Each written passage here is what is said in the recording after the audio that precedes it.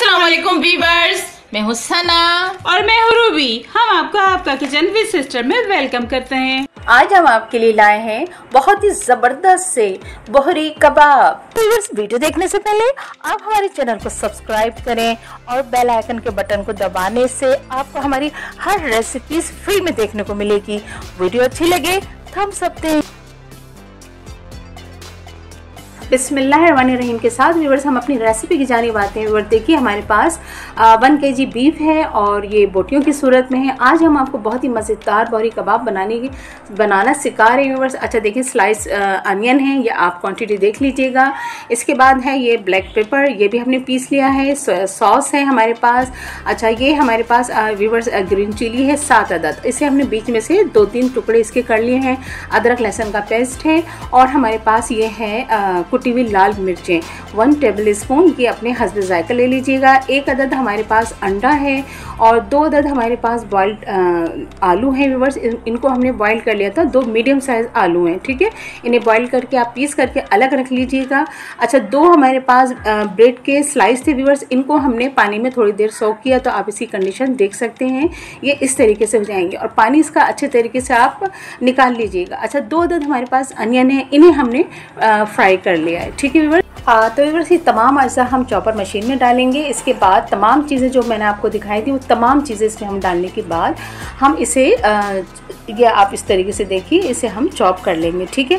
पहले आप जो बीफ डालेंगे अच्छा आप इसको चिकन में भी बना सकते हैं, मगर बीफ का मज़ा अलग है और चिकन का मज़ा अलग है। पहले आप थोड़ा सा बीफ आप चॉप कर लें, उसके बाद तमाम अज्जा जो भी मैंने आपको बताया है, वो तमाम क्वान्टिटी के हिसाब से आप तमाम चीज़ें इसमें डाल लीजिएगा, ठीक है व्यूवर्स अच्छा देखिए व्यूवर्स इसमें अंडा मैंने एक डाला है, अगर आप चाहें तो दो डाल सकते हैं, क्योंकि हमारे पास बीफ जो है वो वन के है, ठीक है?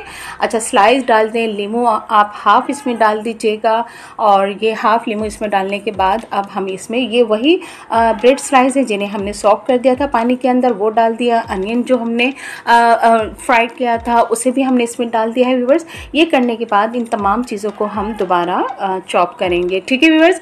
इसे दोबारा चॉप करने के बाद आप देखिए, ये हमें बहुत अच्छे तरीके से इसके बिल्कुल हमने ऐसा करना है कि मैं आपको दिखाऊँगी जब ये चॉप हो जाएगा तो आप खुद कहेंगे कि हाँ वाकई में ये बिल्कुल रेशमी स्टाइल में हो जाएगा। अच्छा देखिए व्यूवर्स अब हमने अंडा डाल दिया। अंडा डालने से पहले हमने इसमें आ, आ, आलू डाल दिए थे। अच्छा अब आती है हरा धनिया की बारी। अच्छा हरा धनिया अच्छे तरीके से आप वॉश कीजिएगा। वॉश करने के बाद ये डंडी समेत मैंने हाफ़ गड्डी इसमें हरा धनिया लिया है। पुदीना नहीं जाएगा व्यूवर्स सिर्फ़ हरा धनिया। ठीक है? डंडियों समेत ऊपर का हिस्सा आप थोड़ा सा कट कर लीजिएगा। उसके बाद आपने ये डाल देना है। नमक हसब जायका ज़्यादा नमक नहीं डालिएगा व्यूवर थोड़ा आप इसमें ज़ुबान पे रख लीजिएगा, आपको खुद फेल हो जाएगा। ठीक है? आप व्यूवर्स फिर इन तमाम अज्जा को हम अच्छे तरीके से चॉप करेंगे, ठीक है? आप देख रहे होंगे। अच्छा अब आप देखिए कि ये चॉप करने के बाद आप हमारी बीफ की आप शक्ल देख सकते हैं। जो तमाम चीज़ें हमने डालने के बाद अब आप इसको देखें कितना सॉफ्ट हो चुका है ये कि आपको लग रहा होगा कि कितना अच्छा। अच्छा व्यूवर्स अब इसके बनाएँगे हम कबाब की शक्ल देंगे। अच्छा इसमें यह है कि आप इसे किसी भी कोई भी शक्ल दे सकते हैं।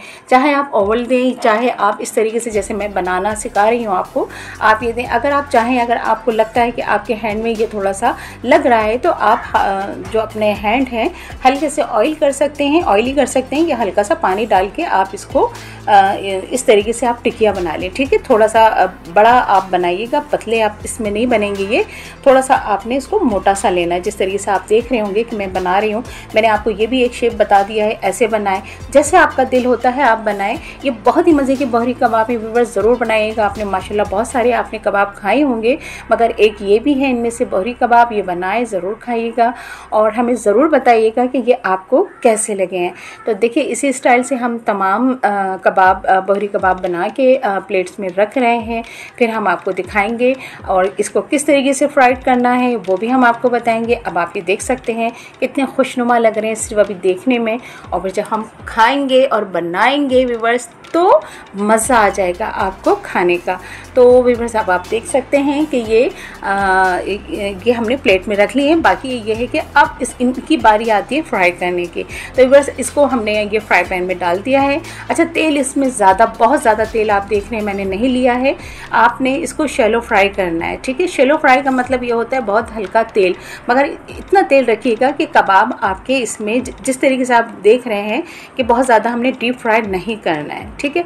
अच्छा आप देखिए, इसको हमने डाल दिया है। इसको अब हमने जिस तरीके से उलट पुलट करते हैं, इस तरीके से करना है कि हमारे कबाब का दोनों साइड बहुत ही अच्छा हो जाए। अब आप ये देख रहे हैं, इसकी शक्ल कितना ज़बरदस्त लग रही है। और बस देखिए, ये बस तैयार है। देखा कितना झटपट बनने वाले बहरी कबाब हैं।